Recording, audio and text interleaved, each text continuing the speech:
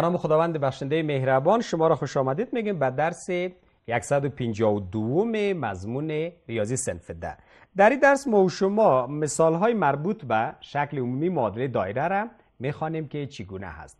البته ما شکل میاری معادله دایره را که یک شکل داریم x منفی کل مربع جمع y منفی که کل مربع مساوی به r مربع اما شکل عمومیش را فقط اول باید x مربع جمع y مربع ترتیب شود بعد باز قیمت های دیگه هم میشه حالت های مختلف برش داشته باشیم. که در این درس خود مثال ها را کار می‌کنیم می‌بینیم که چگونه این حالت های مختلف تنظیم شده یا چگونه یا حالت های مختلف باید تنظیم شد به اساس موضوع درسی مثال چهارم هست و به اساس درس امروز ما شما مثال اول هست. در اینجا گفتن نشان دهید که 5x مربع جمع 5y مربع مثبت 24x مثبت 36y مثبت 10 مساوی به صفر معادله یک دایره بوده و نیز کمیات وضعی مرکز و طول شعای آن را دریابید. هم کمیات وضعی مرکز از ما شما خواسته و هم طول شعار از ما شما خواسته که مساوی به چند میشه. به این ترتیب ابتدا گفته به همین معادله که داریم هر دو طرف معادله را به عدد پنج تقسیم می‌کنیم تا ای که به اصطلاح یک مقدار بر ما شما روشن شد و ببینیم که چگونه هست و چطور میشه ما شما به اصطلاح شکل عمومی معادله دایره را که داریم مرکز و مختصات مرکز و به همین ترتیب ما شما بتانیم قیمت شای دایره را دریافت کنیم. خب معادله عمومی دایره قیمتش 5x مربع یا معادله بگیم 5x مربع مثبت 5y مربع به همین ترتیب مثبت 24x هست به همین ترتیب مثبت 36y هست و مثبت 10 مساوی به صفر که به این ترتیب ما شما داشتیم. خب در اینجا ابتدا اطراف معادله تقسیم عدد 5 می‌کنیم. یعنی ما همین معادله که داریم اطرافش تقسیم عدد 5 به خاطر که ضریب های x مربع و y مربع باید مساوی به یک شود. که وقتی ضریب های x مربع و y مربع مساوی به عدد یک بود در اون صورت میشه با شما قیمت h و k و به همین ترتیب r را نظر به ترتیبی که قبلا خوانده بودیم دریافت کنیم. خب وقتی معادله اول وقتی حد اولی یا بگیم قسمت اولی تقسیم 5 شوه x مربع باقی میمانه ضریب y مربع تقسیم 5 شوه یک میشه y مربع باقی میمانه مثبت ضریب x 24 تقسیم 5 شوه 24 بر 5 x میشه. مثبت ضریب y هم که 36 تقسیم 5 شوه 36 بر 5 y میشه و مثبت 10 تقسیم 5 مساوی به 2 میشه و مساوی به صفر. موشمایی را داریم که به این ترتیب هست. حال گپی که وجود داره ای است که ما و شما در اینجا نظر به قیمتی که از قبل داشتیم ما مرکز دایره را به اصطلاح می‌شد به اساس قیمت G و قیمت F دریافت بکنیم که مرکز دایره یا مختصات مرکز دایره منفی G و منفی F خواهد بود که به این ترتیب ما شما این قیمت ها را داریم. خب منفی G و منفی F را که ما شما داریم خود قیمتشان از کجا باید شود؟ خود قیمتش هم ما شما درس قبلی خود خوانده میشه البته میشه یک بار قیمت R را هم نوشته کنیم که R مساوی است به G مربع جمع F مربع G مربع جمع F مربع منفی C که به این ترتیب ما شما از قبل داشتیم. خب در اینجا یک بار ببینید در خود مثال که ما شما این قیمت ها را چطور میشه ترتیب بکنیم. ببینید معادله ما شما فعلا x مربع جمع y مربع 24 بر 5x مثبت 36 بر 5y جمع 2 مساوی به صفر است. قیمت g مساوی به 12 بر 5 به دست آمده و قیمت f مساوی به 18 بر 5 به دست آمده. به این ترتیب قیمت c هم مساوی به عدد 2 به دست آمده. ما و شما در این ضریب ها ضریب x را 24 بر 5 داریم. در حالی که g ضریب x که ما و شما داشتیم قبلا این 12 بر 5 هست و قیمت f هم که در معادله 36 بر 5 در اینجا بر شما قیمت f را 18 بر 5 گفته. در حقیقت قیمت f ما شما و قیمت g که داریم ضریب x و ضریب y باید تقسیم دو هم شوند. یعنی ما و شما دو را مساوی به ضریب y داریم و دو را مساوی به ضریب چی داریم؟ X داریم. پس به این ترتیب بالا میشه ما شما این قیمت ها را به صورت ساده دریافت بکنیم که البته علامهشان هم باید منفی در نظر گرفته شود که به این ترتیب ما شما داریم. پس در حقیقت ما شما در اینجا قیمت f مساوی به البته منفی دو f مساوی داریم به 36 بر 5 و منفی دو g را مساوی داریم به چی؟ 24 بر 5 اگر اطراف تقسیم دو شود تقسیم منفی دو شود. البته قیمت اف را که ما شما بعد دست میاریم 36 تقسیم دو میشه منفی 18 بر 5 و به این ترتیب اطراف تقسیم منفی دو در اینجا شود قیمت جی را که ما شما داریم منفی 12 بر 5 خواهد شد. پس ما شما قیمت منفی دو اف را در حقیقت مساوی به ضریب y داریم. و قیمت منفی دو جی را در حقیقت مساوی به ضریب x داریم. خود f و خود g قیمتش به این اندازه یا به این ترتیب دریافت شد. حالا اگر ما و شما در اینجا با اصطلاح قیمت خود f و قیمت خود g را وضع کنیم میشه یه علامه منفی را بگیم. یک بار در اینجا در نظر گرفتیم پس در اینجا در نظر نگیریم و یا میشه که این با علامه مثبت در نظر بگیریم چون مختصات را با علامه منفی گرفتیم. پس این علامه های منفی را من از اینجا پاک می‌کنم تا پس در مختصات علامه منفی یک بار که در نظر گرفته شود مشکل حل است. خب پس ما مختصات را دریافت کردیم. مختصات را چگونه دریافت کردیم که قیمت منفی g و منفی f که ما شما داریم البته مختصات مرکز دایره هست. پس به این ترتیب منفی جی قیمتش منفی دوازده بر پنج شد و منفی f هم قیمتش منفی اجده بر پنج شد که به این ترتیب ما شما داریم. حالا قیمت r را دریافت می‌کنیم. قیمت آر مساوی است به جذر جی مربع جمع f مربع منفی c. پس r مساوی است. جذر. قیمت g چند است؟ دوازده بر پنج کل مربع. جمع قیمت f چند است؟ اجده بر پنج کل مربع. و منفی c که قیمت c را ما شما می قسمت آخر یا قسمت با اصطلاح ثابت معادله عمومی را داریم. عبارت از عدد چند؟ از عدد دو هست. که به این ترتیب وقتی ما شما این را ساده سازی کنیم. در این صورت 12 مربع را می‌فهمیم. 144 بر 5 میشه. جمع 18 مربع را می‌فهمیم که 324 بر 324 بر. البته در اینجا 5 مربع داره. بر 25 324 هم بر 25 میشه. منفی دو هم به این ترتیب ما شما داریم. خب آلک ساده سازی کنیم. قیمت آر در نتیجه حاصل میشه مساوی به جذر 418 بر.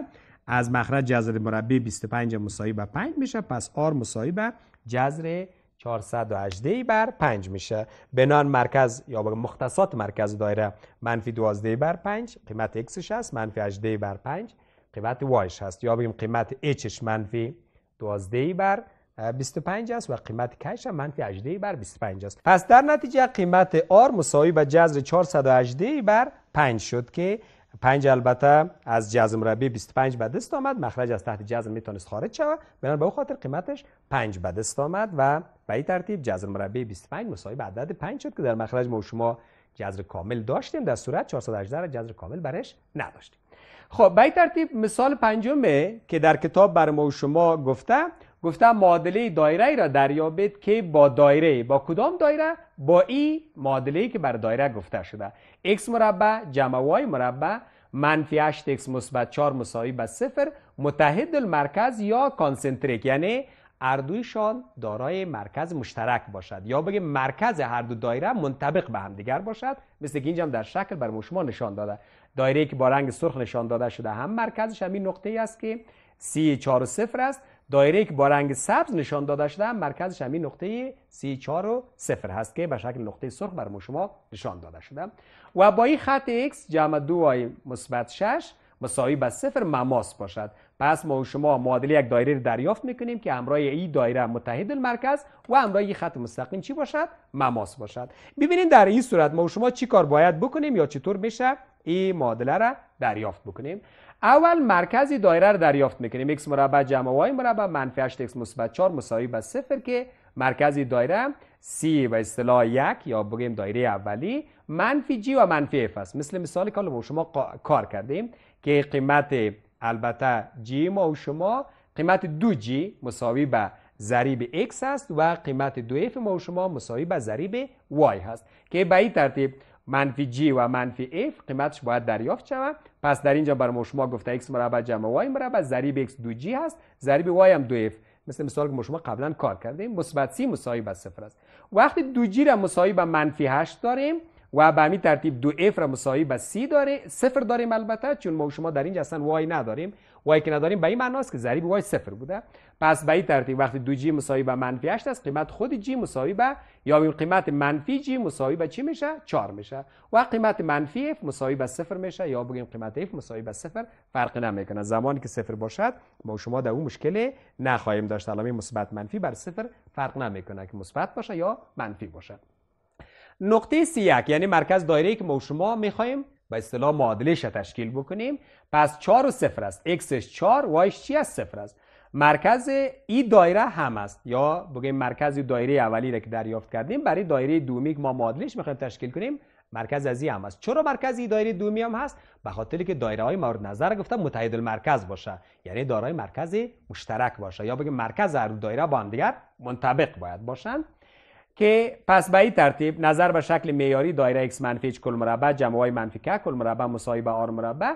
قیمت ما و شما 4 هست و قیمت y چی است یا قیمت k بگوییم صفر هست. پس x منفی 4 کل مربع جمع y منفی صفر کل مربع مساوی به r مربع هست. پس در این صورت این معادله معیاری دایره که ما و شما می‌خواستیم امو به اصطلاح بعد است آمد. برای این که شای دایره سی دو را دریابیم چون, ما... چون دایره با خط مستقیم x جمع دو y مثبت 6 مساوی به صفر مماس است پس فاصله نقطه به اندازه 4 و صفر خواهد بود که فاصله خط مستقیم مورد نظر هم به اندازه 4 و صفر هست که ما شما در اینجا داریم در اینجا ما شما دی فاصله یا بگیم که در اینجا شای دایره هم میشه مساوی به البته جذر ax جمع بی وای جمع 6 مساوی به جذر ای مربع جمع بی مربعی که ما شما از قبل در موردش خوانده بودیم. فاصله به اصطلاح خط مستقیم یا بگیم فاصله دو خط مستقیم را که ما شما یا فاصله یک نقطه از خط مستقیم ما شما قبلا خوانده بودیم. نقطه عبارت از مرکز دایره هست. این معادلش است که ما شما از قبل داشتیم. که صورت مساوی به 10 میشه و مخرج مساوی به جذر 5 میشه. پس آر مربع مساوی هست به 10 بر البته 5 که این البته مربع ساخته یا بگیم صورت را هم مربع ساخته مخرج را هم که چون آر را مربع ساخته بعد به می ترتیب وقتی ما شما به اصطلاح تقسیم کنیم 100 تقسیم 5 مساوی به عدد 20 میشه. پس فاصلهش مساوی به 20 واحد هست. یا بگیم قیمت دی مساوی به 20 واحد به این ترتیب بعد است آمد که ما شما داریم. پس دایره مورد نظر چی گونه دایره بوده می‌تونه؟ X منفی h کل مربع به عوض h ما شما 4 دریافت کرده بودیم. جمع y مربع مساوی به r مربع. R مربع قیمت چند به دست آمده بود؟ قیمتش مساوی به 20 به دست آمده بود. البته r مربع با d مطابقت نمی‌کنه. D به اندازه جذر r مربع هست که قیمت خود r باشه و این r مربع هست که ما شما صورت را در مربع ساخته بودیم 100 شده بود و مخرج جذر 5 در مربع ساختیم خود 5 100 تقسیم 5 مساوی به 20 شد بنان شکل معادله به این ترتیب هست. و اگر این ما شما به شکل عمومی تبدیل کنیم این معادله ما باز میشه x مربع جمع y مربع منفی 8x منفی 4 مساوی به 0 یعنی ما در حقیقت با استفاده از معادله یک دایره و با استفاده از یک خط مستقیم مماس تانستیم که معادله دایره دومی را دریافت بکنیم. این معادله دایره دومی که ما شما دریافت کردیم چه خصوصیت داره؟ با دایره اولی متحد المرکز است یا بگیم مرکزهایشان با هم دیگر منطبق است. ضمن از اینکه مرکزها با هم دیگر منطبق هستند بر علاوه خصوصیت دومیشانی است که با خط مستقیم مماس هست یا بگیم مماس با خط مستقیم مورد نظر هست. مثال ششم کتاب ما شما گفته معادله دایره ای را دریابید که از نقاط A 4 و 1 B 6 و 5 میگذرد و مرکز آن بالای خط مستقیم 4x مثبت y منفی 16 مساوی به صفر واقع باشد. یعنی مرکز دایره که ما شما ای دو تا مختصر داریم بالای این خط مستقیم 4x مثبت y منفی 16 مساوی به صفر که شکل عمومی خط مستقیم گفته شده قرار می‌گیرد یا بگوییم قرار دارد. بر حل از چی کار می‌کنیم؟ اول مرکز دایره که ما شما فعلا داریم او را دریافت می‌کنیم. CH K باشد. عبارت از چی است؟ X منفی h کل مربع جمع y منفی k کل مربع مساوی به r مربع که معادله عمومی دایره هست. چون مرکزی دایره بالای خط مستقیم 4x مثبت y منفی 16 مساوی به صفر قرار داره پس به این ترتیب 4k مثبت 4h جمع k مساوی به 16 خواهد بود. پس به این ترتیب x منفی h کل مربع جمع y منفی k کل مربع مساوی به r مربع که ما شما داریم قیمت AC ما شما مساوی به قیمت BC هست. یعنی در اینجا ما شما خود از را که داریم اینا با هم دیگر چی هستن؟ مساوی هستن. که مربعات از مربع سی مربع و مربع بی سی مربع هم با هم دیگر چی میشن؟ با هم دیگر مساوی میشه. پس به این ترتیب x منفی h کل مربع به عوض h قیمتش چند است؟ 4 هست که ما و شما از قبل مختصات را داشتیم. قیمت h چند است؟ 4 هست. در اینجا x منفی h که x منفی 4 کل مربع. جمع y منفی k کل مربع. قیمت y چند است؟ یک است. این مختصات نقطه اولی. دو نقطه دومی ما و شما x 6 هست. Y چند است؟ 5 است. X منفی 6 کل مربع. جمع y منفی 5 کل مربع. به این ترتیب پس ما و شما این دو تا معادله را با هم دیگر داریم. یا بگیم از هر کدام از اینا یک معادله تشکیل میشه. بعد به این ترتیب می‌تونیم که قیمت k و قیمت h را با استفاده از معادلات یک مجهوله دو مجهوله درجه اول دریافت کنیم. که قیمت کم مساوی به 4 و قیمت h مساوی به 3 هست. بنان پس آر مربع ما و شما x منفی h کل مربع جمع y منفی k کل مربع که قیمت های 4 و 3 را وقتی وضع کنیم به این ترتیب معادله که در نهایت بر ما شما به دست میاد x منفی 3 کل مربع جمع y منفی 4 کل مربع مساوی به 10 هست. و اگر شکل عمومی معادله را به دست بیاریم یا بگیم از حالت استاندارد حالت عمومی را ما شما حاصل کنیم به این ترتیب x مربع جمع y مربع منفی 6x منفی 8y مثبت 15 مساوی به صفر حاصل میشه. برای همین مثال ما شما یک فعالیت دیگه بازم در کتاب شما داده که فعالیت رو شما کار کنین ببینیم که چگونه باید به اصطلاح معادله دایره مورد نظر تشکیل شود. نظر به مثالی که ما شما کار کردیم دو تا نقطه داشتیم. نظر به دو نقطه کردوشان نشان دهنده مرکز دایره بود. بعد به می ترتیب اینا از یک خط مستقیم عبور می‌کرد یا مرکز دایره خط مستقیم قرار داشتن. با کمک خط مستقیم و دو نقطه که ما شما در به اصطلاح دایره ها داشتیم دانستیم که معادله دایره را هم تشکیل بکنیم و حالت معیاری را بعد به شکل عمومی هم تبدیل بکنیم. درس امروز ما در اینجا پایان می‌رسد تا یک درس بعدی از مضمون ریاضی صنف دهم. همه شما را به خداوند بزرگ به نیاز میسپارم. موفق باشید.